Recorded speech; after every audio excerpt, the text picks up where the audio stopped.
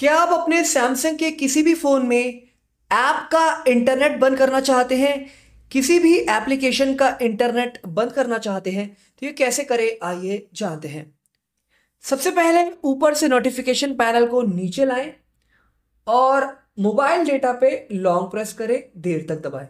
अब allowed network for apps पे click करें। नीचे स्क्रॉल करके व्हाट्सएप की एप्लीकेशन को ढूंढ लें। यह रहा व्हाट्सएप इस पे क्लिक करें।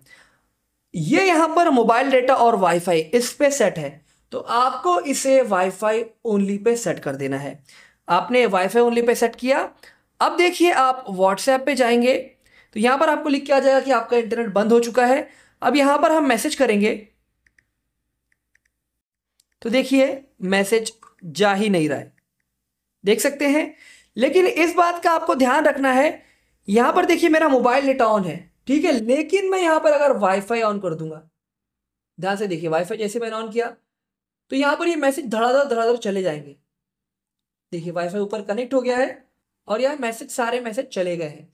तो आपको ध्यान रखना है कि आप जब भी ये सेटिंग करें तो वाईफाई ना यूज़ करें मोबाइल डेटा से इंटरनेट यूज़ करें तो यहाँ पर कोई भी मैसेज नहीं जाएगा अगर आप मोबाइल डेटा से मैसेज किसी को भी भेजेंगे तो ठीक है?